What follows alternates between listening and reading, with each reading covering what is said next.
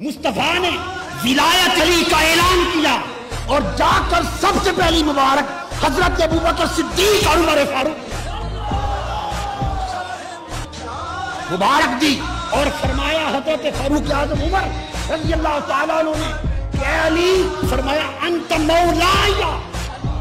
تو مولا کل مومن، آج کے بعد علی تم میرا بھی مولا ہے اور ہر مومن کا مولا ہے۔